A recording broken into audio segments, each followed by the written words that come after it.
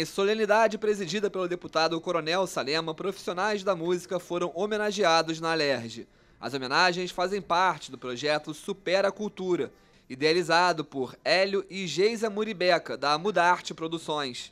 Com o objetivo de fomentar as diversas vertentes culturais no estado, o projeto vem homenageando artistas desde dezembro do ano passado, quando profissionais da dança foram contemplados. O projeto Supera a Cultura veio justamente no pós-pandemia, né, que a gente está aí de novo nessa situação, mas nós viemos para chamar as pessoas de importantes para elas entenderem que voltar depois desse momento é fundamental para a sociedade. Então, como nós somos da cultura, nós escrevemos esse projeto que inclui pessoal de música, de dança, de artes visuais, de artes plásticas, de artesanato, de turismo. É um projeto bem amplo. Mas a importância é se reconstruir, que as pessoas sejam felizes, que as pessoas se, se reencontrem, se reconstruam e que nós estamos lutando aí pela cultura em termos geral, tanto da dança, dança inclusiva, teatro, turismo né, e música, porque isso faz com que a gente cresça, com que a gente abra nossa mente abraça essa causa, ajudando o próximo.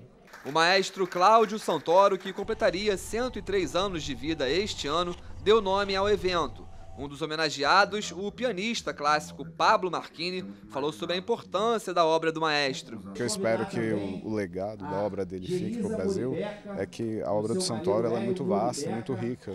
Ele é um dos compositores que mais permearam diversas tendências estéticas no século XX e assim como grandes nomes como Stravinsky, é, entre outros Stockhausen, o Santoro tem várias concepções estéticas que a obra dele tem uma, uma capacidade única, eu acho, de comunicação que merece ser conhecida.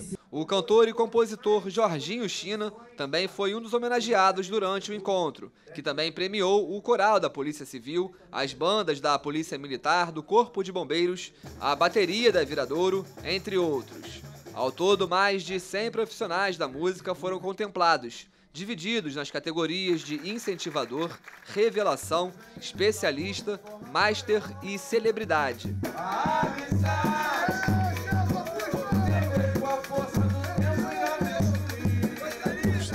Que é, nós que somos músicos, compositores, cantores, nós estamos em todas as situações que as pessoas é, é, se encontram no momento de tristeza, de alegria e tal.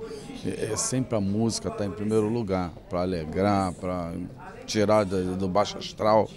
E eu estou muito feliz de estar participando desse evento. Felizaço. Essas homenagens, segundo o deputado Coronel Salema, fazem parte de uma série de eventos que têm como objetivo valorizar os profissionais da cultura que tanto sofreram com os impactos da pandemia. É, nós começamos no ano passado, porque estava no finalzinho da pandemia, então vários profissionais da dança né, estavam encostados, estavam dentro de casa, até por conta da idade também do, dos parceiros também, né, que são pessoas idosas. E estava causando muito problema de depressão, as, as pessoas não estavam se encontrando.